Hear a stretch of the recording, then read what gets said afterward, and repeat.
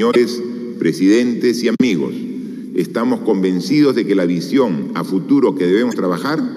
es el de una comunidad integrada y cohesionada, sólidamente, tanto en su aspecto económico-comercial como en el aspecto social y humano, brindando beneficios concretos y tangibles a nuestros ciudadanos. Esta comunidad que visualizamos estará interconectada en sus redes energéticas y de comunicación y asegurará la libre movilidad para sus ciudadanos, que podrán estudiar,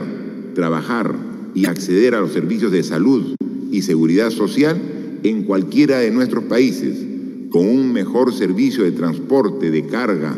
y mercancías y con mejores estándares en los servicios de salud y educación para la población andina, entre otros beneficios reales.